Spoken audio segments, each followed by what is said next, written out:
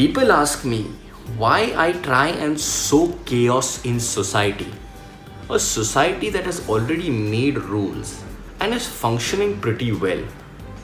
I don't believe that it is functioning pretty well.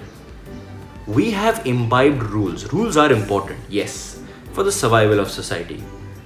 Rules are important, but we have imbibed it to such an extent that we take those rules literally. Those rules are just meant to be a basic framework. Like monogamy, we have taken it so seriously that we, whether we like it or not, people expect us to get married and to have children and to be with only one woman or man. What logic is this? You mono- monogamy was created when society was chaotic. Now people have some sense of order. Now you can go free within the basic rules. Like don't cheat someone for example. Do not tell someone you're only with them while you're with five other people. Today people are mature enough to understand that you are with five other people. It is their choice whether to be with you or not.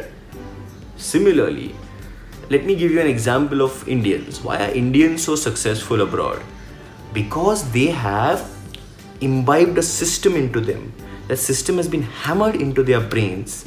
And when they go abroad they suddenly get freedom. So they know how to do everything, they know how to work hard, they know how to be successful within a certain system. This is what my intention for society is. It is not complete chaos. It is now that you know the framework within which you can do things. Do everything. Why do you want to remain in the center of this framework? Go wild.